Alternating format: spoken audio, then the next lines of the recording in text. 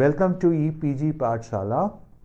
I am Ashutosh Kumar. I am a professor in Punjab University. I teach Indian politics. I also happen to be the, the principal coordinator of EPG Pathshala in the subject of political science. The module name is Democracy in Contemporary India, Politics and Economics. Paper is Indian Politics 2. In this paper, we discuss about how the democracy in India has shaped over the period. In this module, we talked about the different challenges which were confronting Indian democracy when India started its democratic career. There were so many challenges which were confronting India's democracy. India had a very low level of literacy. India had virtually no democratic experience if you set aside the Licchavi Dhanraj and all, which was thousand years back. And then India had also very low level of industrial development thanks to the colonial exploitation and the colonial mechanism. And also there were other challenges before India's democracy in the sense that India was surrounded by the undemocratic neighborhood.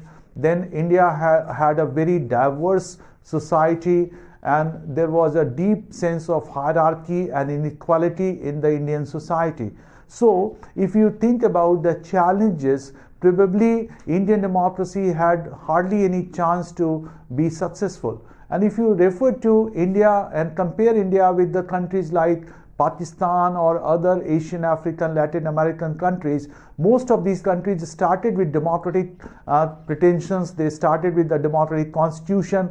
They started with the democratic form of the government, but they did not really, they were not able to remain democracies in the long run. Whereas Indian democracy has been a, a democracy in a real sense, and then in India, like uh, uh, if you set, uh, take aside those two years of 1977 to 1975 to 1977, when there was a rise of authoritarianism during the emergency period, Indian democracy has survived and it has shown a remarkable resilience despite many challenges which were there at the time of decolonization and the challenges which have continued even now.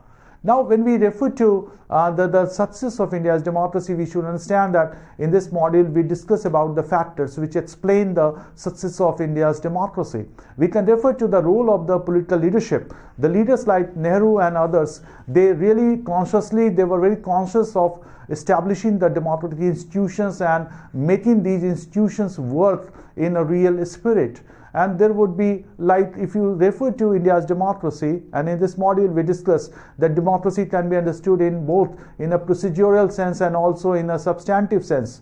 And in a procedural sense we talk we think about the, the, the people's participation contestation and representation and in India, we have a very high level of electoral participation. We have a very high level of contestation. We have so many political parties, and contestation has been not only in terms of the existence of many parties, it is uh, also in the form of the traditional basis of political power, which was highly skewed in favor of the traditionally upper caste, that has been also challenged over the years. And in terms of representation, our lawmaking bodies are becoming more and more representative over the years. So, all these factors underline the procedural success of India's democracy. Now, when we think about the substantive form of democracy, we also can say that, of course, there are certain limitations because when you think about substantive democracy, you say, all right, all these uh, having free and fair elections, having a very high level of participation, having an independent judiciary, having a free press, all these factors are very, very important, but they are not sufficient for the success of democracy. For the success of democracy, you need a certain degree of egalitarianism, a certain degree of removal of certain degree of prosperity. You need a kind of a minimization of the gap between the rich and the poor. In fact, when India became independent, our political leaders, our constitution makers, they promised us the socialistic pattern of society, which stood for eradication of poverty, which stood for minimization of the gap between the rich and poor, which also stood for a certain uh, kind of a, a mixed economy model where the state would be taking up the role of the social provider. So, this would be a very important factor. Now, if we think about the success of India's democracy, we can, as we have already uh, said, and we will be reading in detail in this module, that Indian democracy has been a success story. But in terms of the su- substantive notion of democracy, we find that there have been certain problems in the sense that poverty remains unacceptably high. Even now in India, despite the reduction in the level of the poverty, almost one fifth of the Indians remain below the poverty line. The, the gap between the rich state and the poor state has increased. And there in this model, we discuss about the new economic policies which has adopted, which has been adopted in 1991. It has accentuated the the the, the uh, urban and the uh, rural uh, uh, disparity. It has also create, accentuated the disparity between the, uh, the, the rich state and the poor states. So, and then it has also created a kind of withdrawal of the state from the social sector. The state is no longer taking the social responsibility which has gone against the interest of the poor people. So, right now in this module, basically we refer to the kind of dissonance which is emerging in between the political democracy and the market economy, the two institutions. On the one hand, like we have this our economic successes, India has become an industrialized power, India has done so well in the IT sector, India has remained intact, territorially intact. We have been able to overcome the linguistic problem. There are very few areas in India where we have autonomist movement or the secessionism rising, but that has been also under control. So Indian democracy has succeeded in a fair manner. In fact, Indian democracy has become a signpost for the democracies, new democracies, new within court, new democracies in Asian, African, and Latin American countries. We have a very vibrant civil society. We have a culture of uh, movement politics, and there have been social reforms. The Panchayati Raj institution has been another very good uh, contribution to India's democracy, which has really led to the grassrootization of India's democracy. As most of the old certitudes of Indian politics tremble in a transforming India, it is the idea of democracy that has survived and endured, thus providing a powerful continuity in it. It is remarkable given the fact that very few post colonial states, including those who shared the same colonial legacy, like in the case of Pakistan, they have been able to remain actually existing democracies. It may be considered not a mean achievement if we reflect about India at the time of decolonization. India almost lacked all the ingredients that make a liberal democracy a success. It suffered from low levels of literacy, lack of democratic history, lack of industrialization. Then there were other obstacles in the form of centuries old hierarchical social order, almost deliberately designed to resist the idea of political equality, thus blocking the rise of a civil society and the post partition flared up the cultural and religious distinction. What can be the explanation for the success of India's democracy? Is it due to the limited exposure to the democratic institutions, polit- institutional politics provided to the nationalist leadership by the British 20th century? Or is it due to the translation of our traditional cultural values like tolerance, pluralism, and accommodation into modern political culture as an independent India experienced its first years? Well, whether is the, it is the above two or more regions, it is, an, it is a fact that democracy remains deep rooted in India. India continues to have parliaments and courts of law, par- political parties, and a free press, both as an idea as well as a seductive and puzzling promise to bring history under the command of the will of a community of equals. Democracy has irreversibly entered the Indian political imagination. It has even begun to corrode the authority of the social order. The collapse of communism in Europe heralded the third wave of democracy.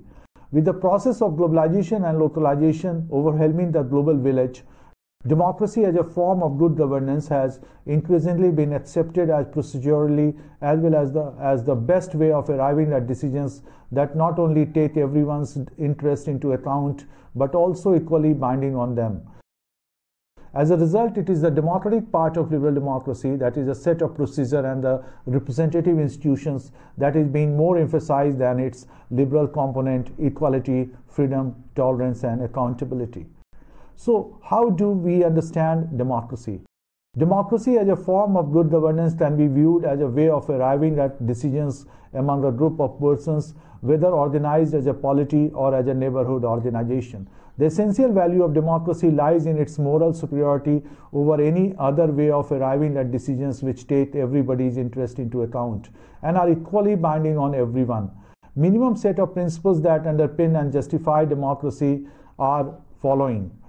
A. Idea of individual autonomy. Individuals are autonomous beings capable of rational thought and therefore capable of deciding what is good for them. B. All individuals should have equal say in the determination of collective decisions which affect them all equally.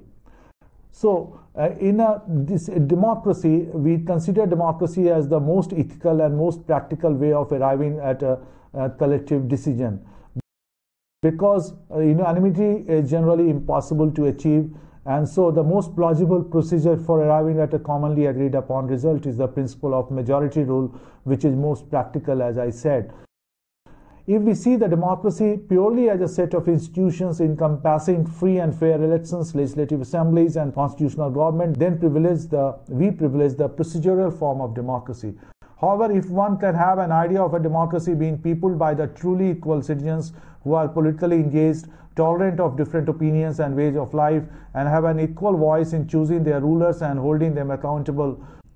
In political theory, these two contrasting models of democracy are referred to as procedural and substantive democracy, respectively. In the limited proceduralist view of democracy, the level of the electoral participation, the frequency of the elections, and the change in political power is taken as indicators of health of democracy. The proponents of the substantive form of democracy, on the other hand, argue that the democratic project is incomplete until the meaningful exercises of the equal rights of citizens have been guaranteed to all. On this account, free and fair elections, freedom of speech and expression, and the rule of law and its protection to all are necessary, but by no means sufficient conditions for a democracy to be meaningful. The project of democracy is not accomplished by merely securing legal and political equality. It may be severely restricted by uh, inequality, which deny many from having a truly equal opportunity to influence government decisions. Concentration of expert knowledge symbolized by the influence of public policy specialists over the government policy and public opinion is another limitation. Atul Kohli argues that the experts have done the economic policy making insulated from the democratic pressure. So, do we have a perfectly substantive democracy anywhere in the world where we do not have find inequality of class, the race, and gender? This is a question which is worth asking, and we don't really uh, have an easy answer to this. Now, let us talk about uh, India's democracy. Indian democracy has had a historical background in the colonial era. The first organized to the British Raj was in the form of 1885 Indian National Congress, and it was basically a kind of a discussion club or a platform where the elites came and they discussed about the politics of India and they made petition to the British government. But then uh, it was followed by the arrival of Gandhi on the scene, and then India had an anti colonial movement where there was a much more emphasis on autonomy of the nation state than democracy. So there was a uh, high command politics. The Gandhi brought masses into the fray, truly a national movement in the sense that not only the urban people but also the rural people participated in the national movement. We, we also can refer to the colonial legacy in the form of the Government of India Acts 1882, 1909, 1919, 1935. In all these Government of India Acts provided some kind of representation to the Indians which prepared them for the future democratic institutions. They learned about how to uh, make the law, uh, how to run the uh, democratic government. So it was a very limited democratic exposure to the elites because the right to vote was very limited. It was not given to one and all, but nevertheless, it provided some ground uh, uh for the future of India's democracy. In fact, uh, in 1937 elections, uh, the leaders like Nehru, they moved 80,000 kilometers, addressing 10 million voters. And then the Congress government was formed in eight states, uh, and the, these governments restored the civil rights Then we can also refer to the particular, uh, particular kind of uh, uh, resolutions which were passed by the Congress party, like we had the Nehru Report, Karachi Resolution, or Nagpur Resolution 1920, or Motilal Nehru Report 1928. They, they provided a kind of a backdrop and they provided, uh, they, they established certain foundational principles which were adopted by the rulers of India after independence, the representatives of India after independence. Even our constitution, if referred to the constitution of India, it has been very much inspired by the Government of India 1935 Act. So, at the time of independence, when India started its democratic career, one of the basic uh, feature of India's democracy, which went in its favor to give it certain kind of stability, was the consensus about the foundational principles of India's democracy, namely secularism, welfare, and development.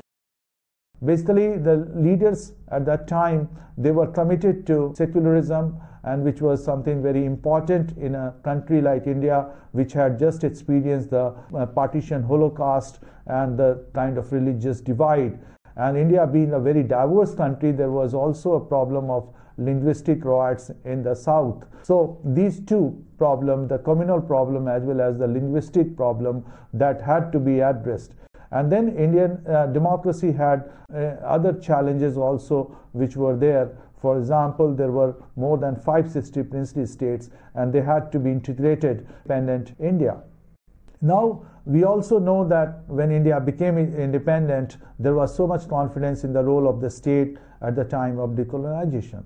And this could be understood in the form of the tremendous elite uh, confidence in the role of the uh, state elite. And it was also because of the influence of the development literature and the modernization literature if we consider the success of India's democracy, let us discuss the success of India's democracy, uh, essentially the political democracy in India. We can say the greatest signifier of its success has been the fact that it has survived and endured despite lacking the essential prerequisites of a democracy.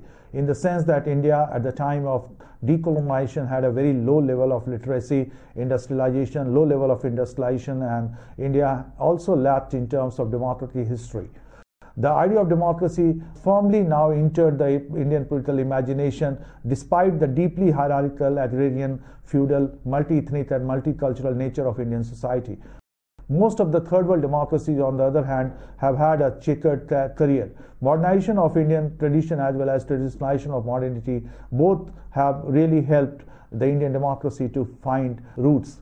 Indian constitution also has contributed to the success of India's democracy. In fact, Indian constitution is probably the only constitution in the countries of Asia, Africa, and Latin America which has survived the post-colonial period, and it has been the guiding principle, guiding document in all these 70 years. Management of the linguistic regional movements, Tamil Nadu, Assam, also has been one great success in the sense that three language formula uh, really helped India to face the, the linguistic problem which emerged in the South India. Then we also have this uh, strong institutions, democratic institutions in India like the Election Commission of India, which has enjoyed very high level of trust, and that has the, the free and fair elections has provided a kind of legitimacy to the elected governments in India, both at the center as well as at the state level and we can see that the participation of uh, the Indian electorate has been on the rise. The increase in the electoral participation has not been only in the quantitative sense, but also in the qualitative sense, in the sense that the participation of the women, participation of the poor people, participation of the uneducated people has increased over the period, and that in that sense, Indian uh, electoral democracy is very different from the Western democracies in the sense that unlike the Western democracies in India, the poor and the uneducated people participate in the vote voting in a larger percentage, which is not the case with Western countries. Level like, for example, the election for the panchayat, the, the electoral participation increases manifold, which is again a typical Indian story.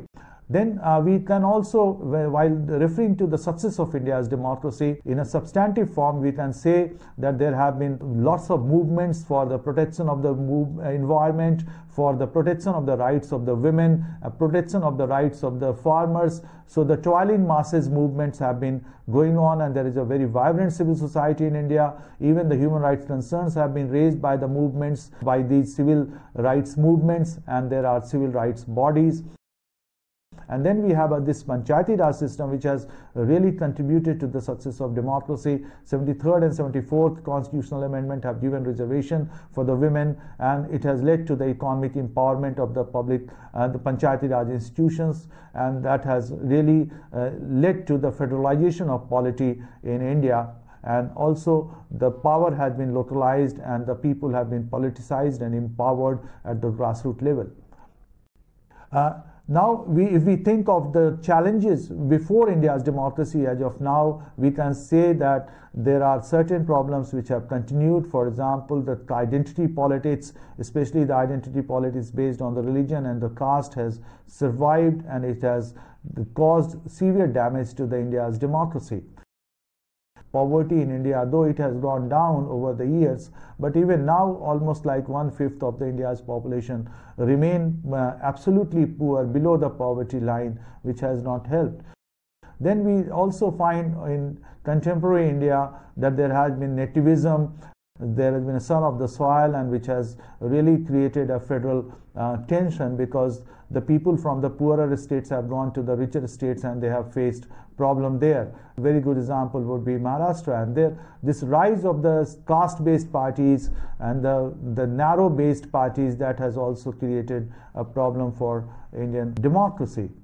Now we can refer to another challenge to the India's democracy, and that is with regard to the new economic policies. Of course, we know that India has adopted the new economic policies in 1991, and there has been an economic transition.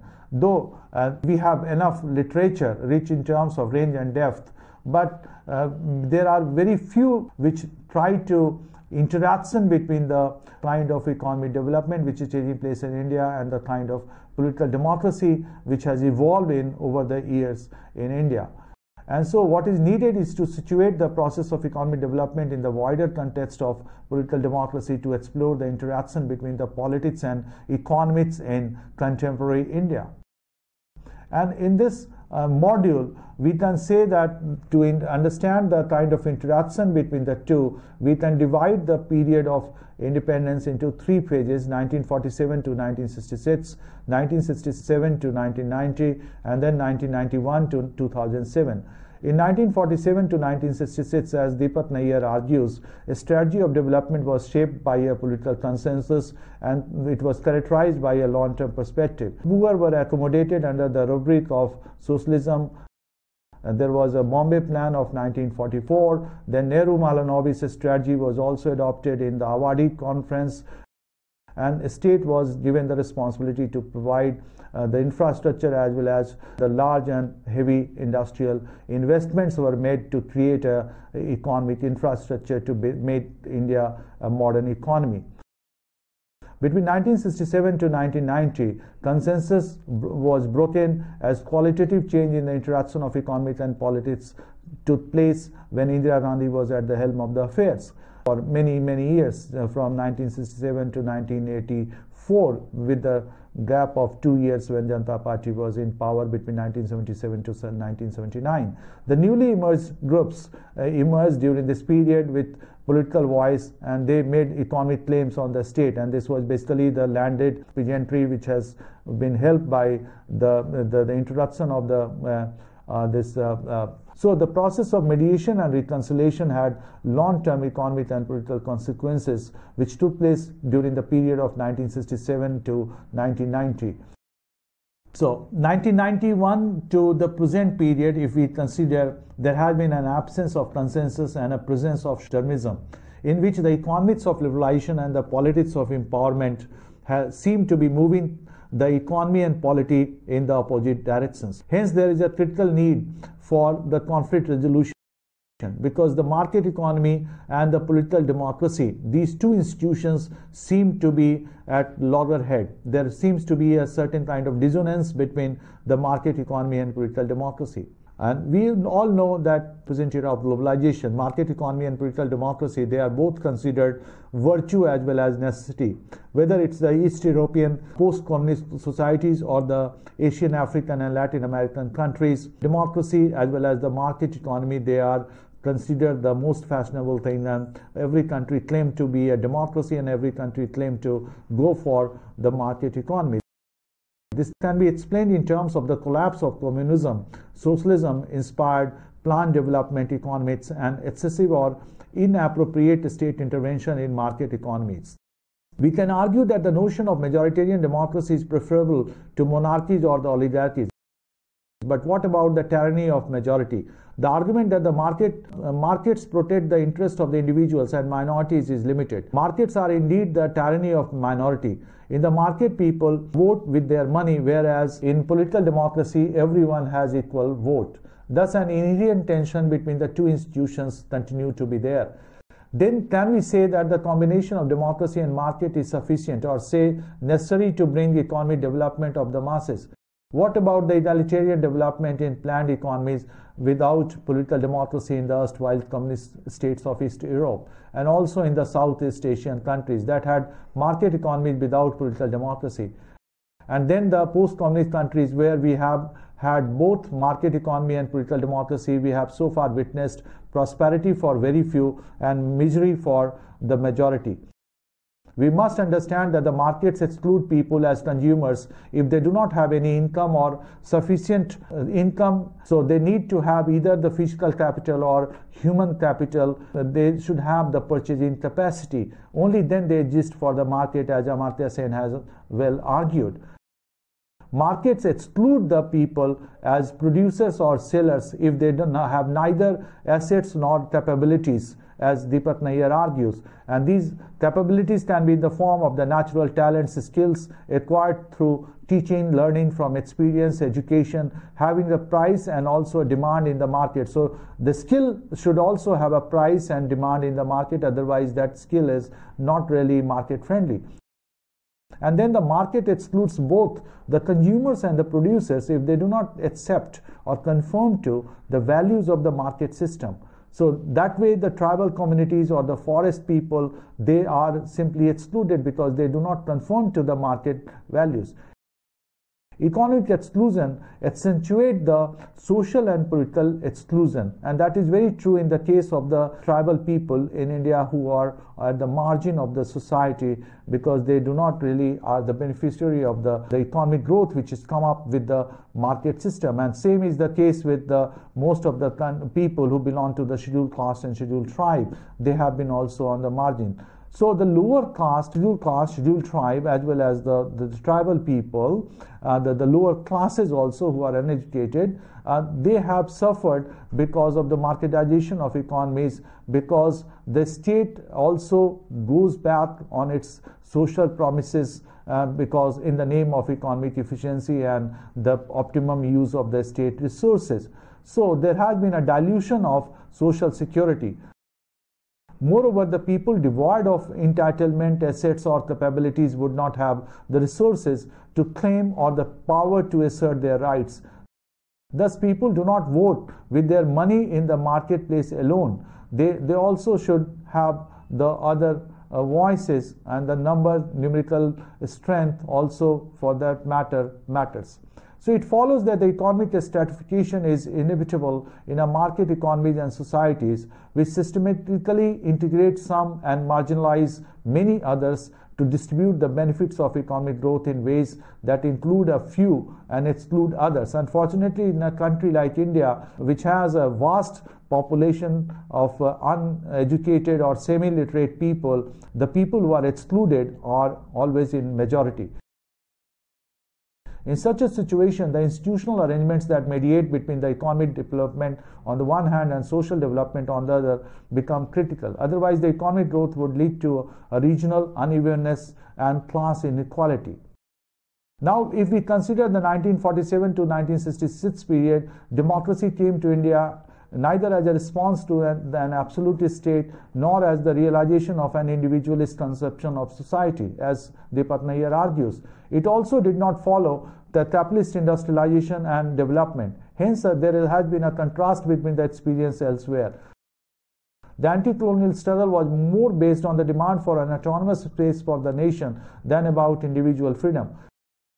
Gandhian notion of a just state was premised on the idea of that of the collective interest must take precedence over individual interest. Democratic republic with a places with place to a secure justice, liberty, equality, and fraternity for all citizens. This has been a democratic promise which is enshrined in our preamble also. Universal franchise in an agrarian society was another uh, major feature of India's democracy when it started its career. The state had an important role to play, that of the mediator between the political democracy and economic democracy. Thus, if the logic of the market meant exclusion of a significant proportion of the people, particularly the poor, it was necessary for the state to ensure the inclusion of such people in the economic sphere. And that's why the political leaders of India, as Deepak Nayyar argues, adopted the uh, development planning model. The colonial past and the nationalist present shaped the strategy of economic development. So, conscious effort to limit the degree of openness and of integration with the world economy in pursuit of a more autonomous, if not self reliant development was adopted. It was a departure from the colonial era marked with open market, unregulated market.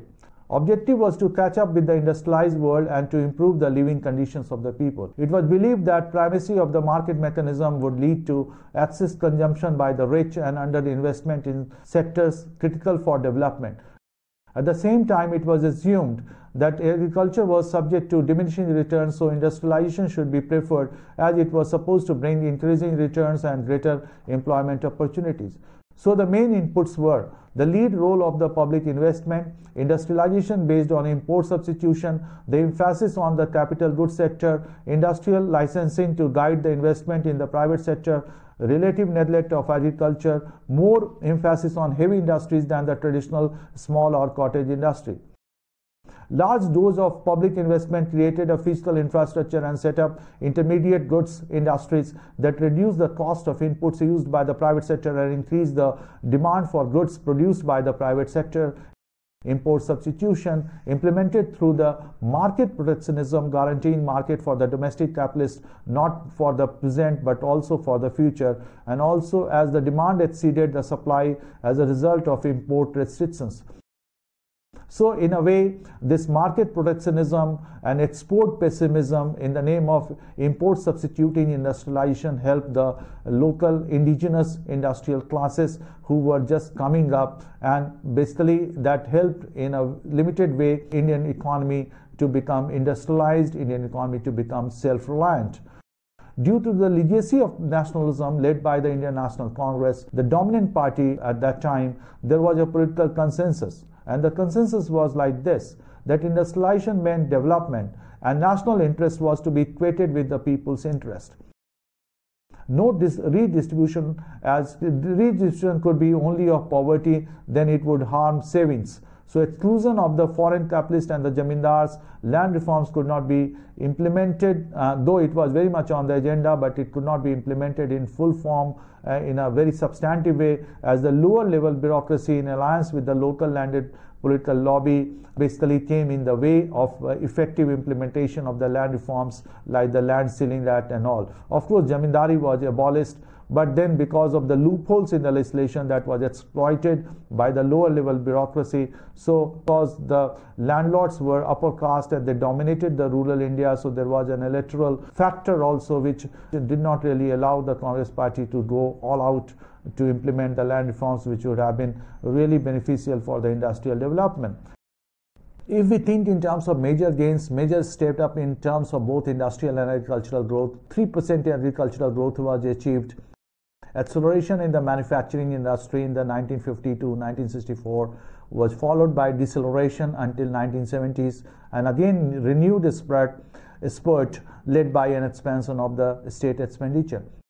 Considerable diversification of the industrial production took place coming of the capital goods sector and other infant industries to come up and achieve some level of production. sugar, cotton, and jute, and also textile industries were there. But now, in this period, India was able to uh, diversify its industrial sector, and uh, the many manufacturing and industrial sector came up. Then there was achievement of domestic self-sufficiency in food production through, though the food consumption remains low, but at the same time we, can, we should understand that in 1964-66 there was a critical uh, food deficit to the extent of 12% and Indian government uh, led by Indira Gandhi had to negotiate with American government for the import of the food grains. It was like the, the basket, uh, uh food, India became a food basket. The major criticism of the development planning can be the failure of land reforms, high cost industrial economy, import substitution strategy also came under question mark because there, it involved a complex and wasteful system uh, of uh, corruption, energy intensive. Green revolution also another point of discussion because green revolution led to extensive use of groundwater and it really destroyed the quality of the, the nutrition uh, nutrition value of the soil. The dry land farming was neglected, which should have been undertaken. And then urban rural divide in economic terms also got accentuated. And then there was a massive government expenditure in the name of populism, in the name of subsidies, which really made the state almost bankrupt. The conscious effort on the part of the state was to reconcile economic policies with the compulsions of the political process to minimize the conflict in the interaction of economics and politics in this era, and that goes in favor of the development planning model. Alliance of the industrial capitalist class, the land owning class, and the bureaucracy was very much in place. Politics of accommodation was followed at that time. Sharing of the spoil was there, statist orientation to the economy, but then commanding height of the economy, and also had this uh, promise of establishing or trying to establish a socialistic pattern of society, which would mean abolition of poverty, redistribution of resources, and also the state playing the role of supervisory role so that the, the poor people interest can be uh, served and protected.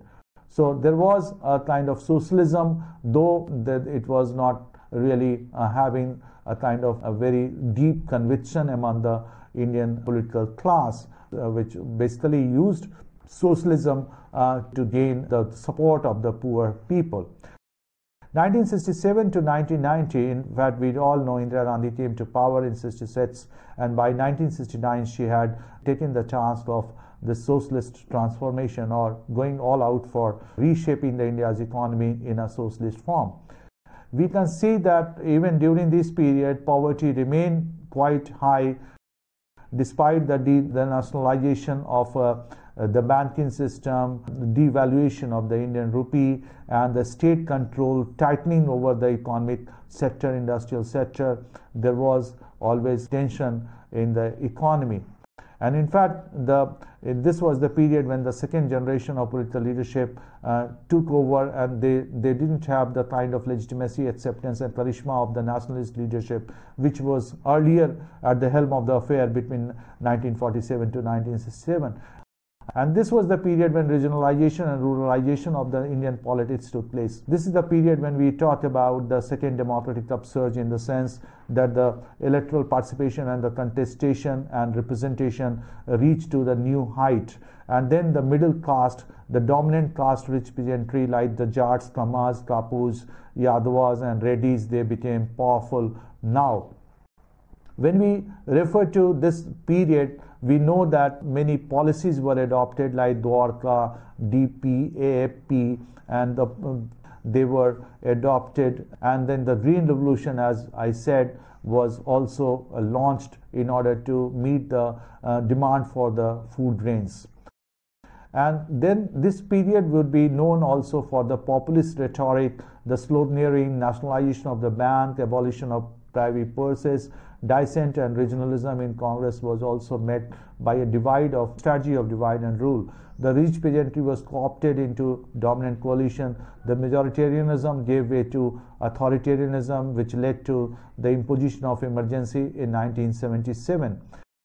Then in 1979, Janata Party came to power as the democratic spirit embedded in the political imagination resurrected itself and political democracy provided a kind of institutional mechanism to sustain the ruling coalition's lack of it brought crisis and that's why the, the Indira Gandhi was forced to call for the elections and in the elections he was badly defeated.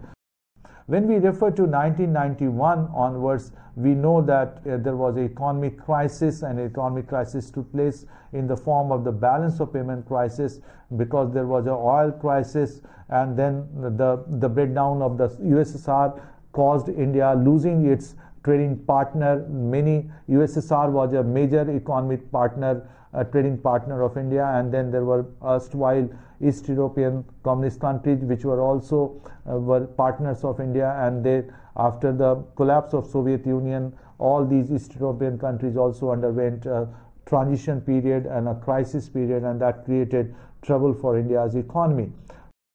So, and then there was external debt crisis because India had taken uh, short-term loans during Rajiv Gandhi regime for developing its own indigenous manufacturing sector, but the manufacturing sector did not really uh, bring the the expected uh, foreign exchange, and so there would be a crisis of the foreign exchange in India because India, in order to import technology and in order to import the intermediate goods, had to shell out the foreign currency. But then Indian export did not really pick up, and that's why there was a balance of payment crisis.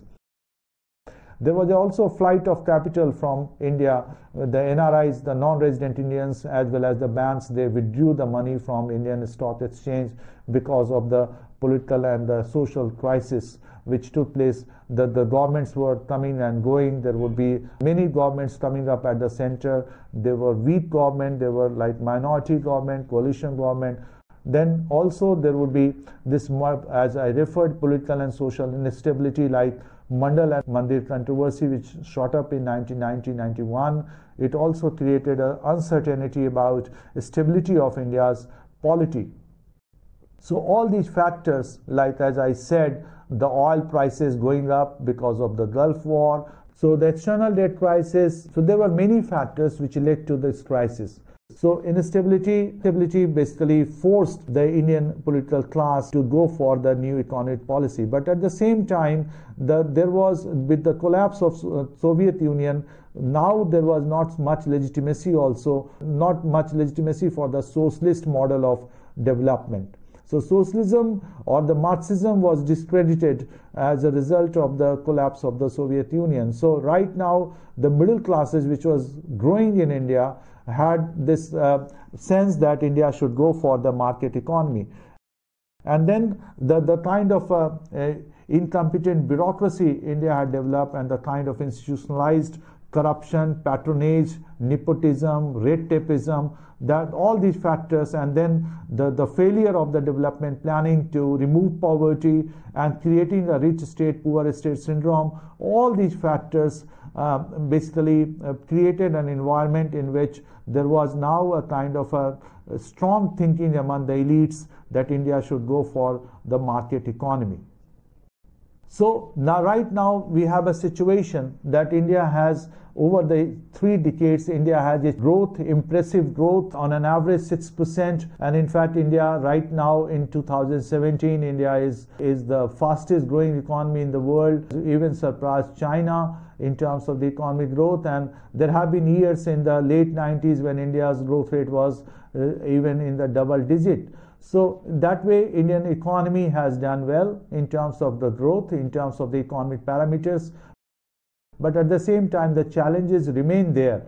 At the outset, we talked about the tension or the dissonance, disconnect between the market economy and the uh, political democracy in India, and that disconnect continues to be there in the sense that the, there is a the divide between the rich state and the poor state continues to be there.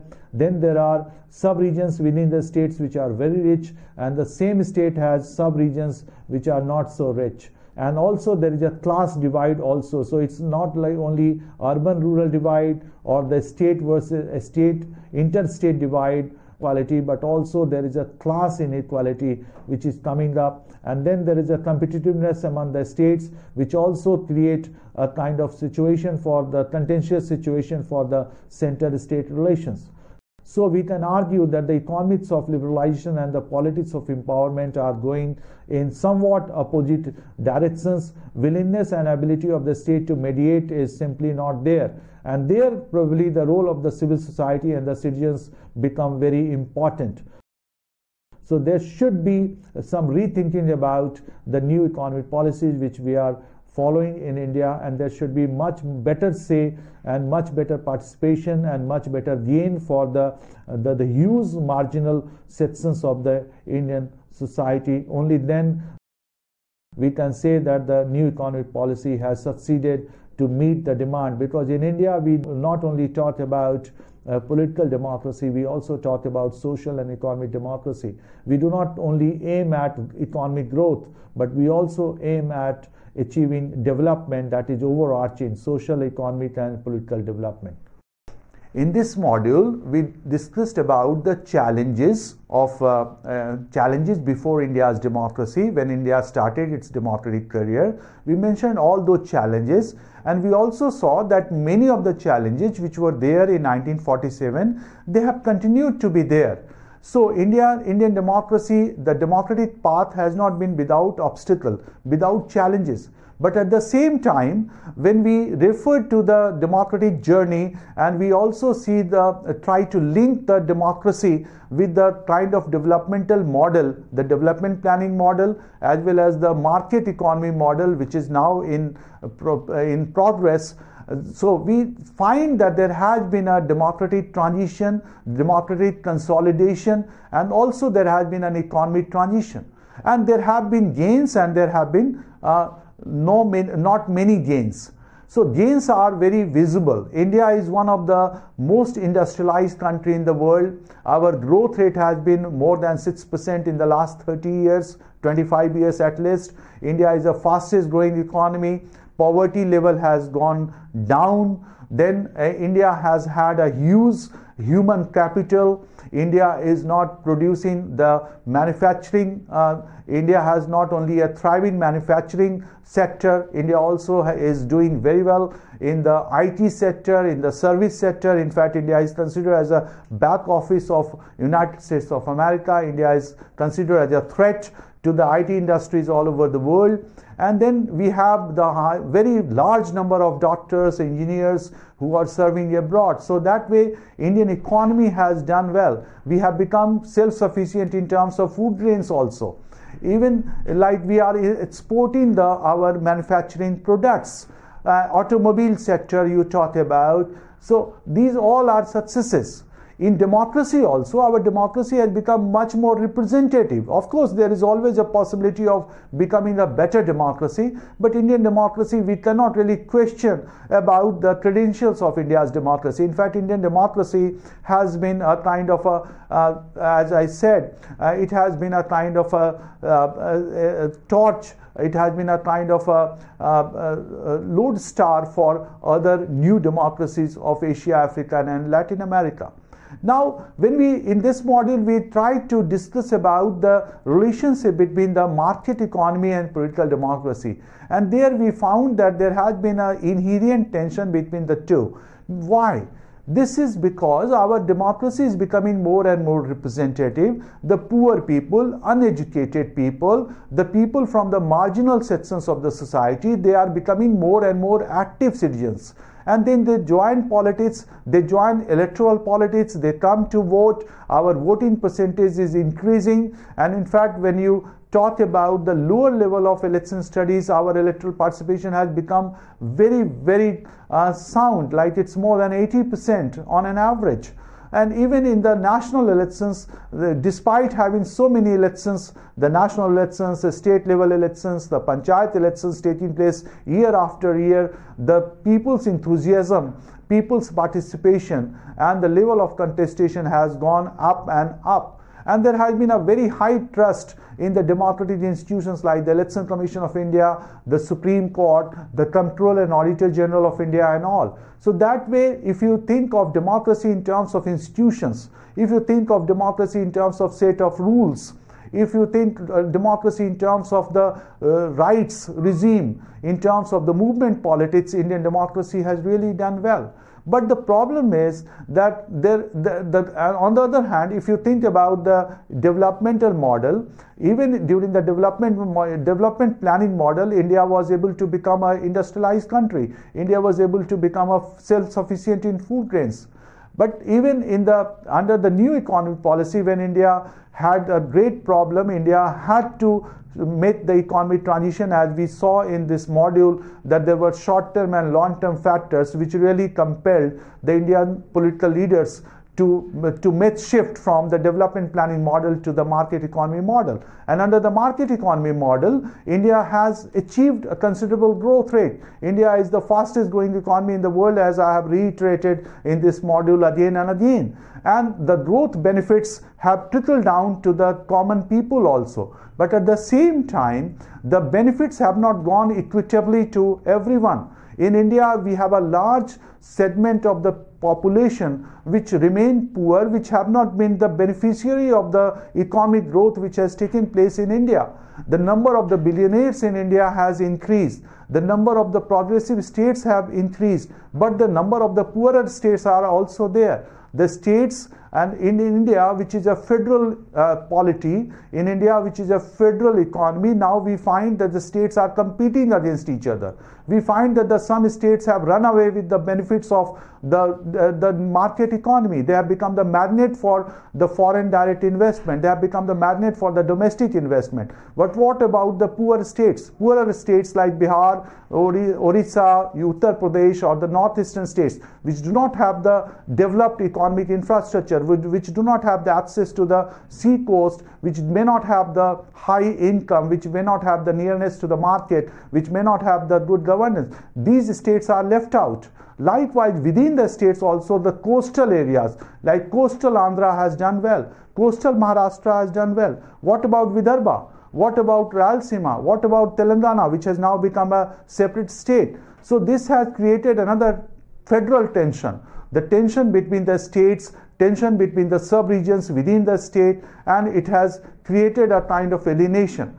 So this is another challenge which has to be met.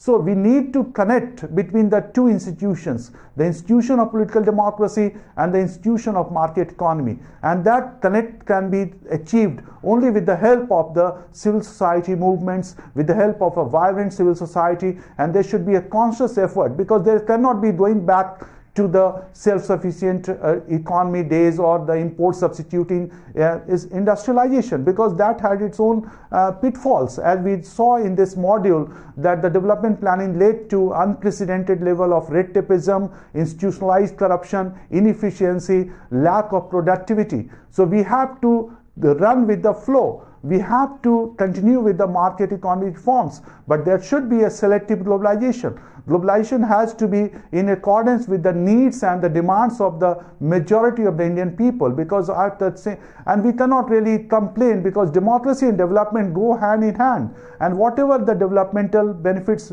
have come to India, they are going to last. In fact, Indian economy has shown great degree of resilience because of our democracy. Because in a, in a democracy, whatever the decisions are taking place, they are taking place after lot of deliberations and dialogue. And so those economic decisions have continued to be there. There is a sense of stability. And that's why the governments have come and gone. UPA government was there. Now we have NDA government in between. We had the non-Congress and non-BJP led governments. But the economic policies, the new economic reforms, the market-led reforms or the trade-related growth rate model which was adopted in 1991 in the form of the budget of Sardar Manmohan Singh, who was the finance minister, that has continued unabated. So there has been a sense of stability, there has been a sense of continuity in the way the economic developmental model has taken place in India. That there is an, only a need that the, there should be much more participation of the poor people in the decision making process. As Atul Kohli says that in India we have got a two track democracy,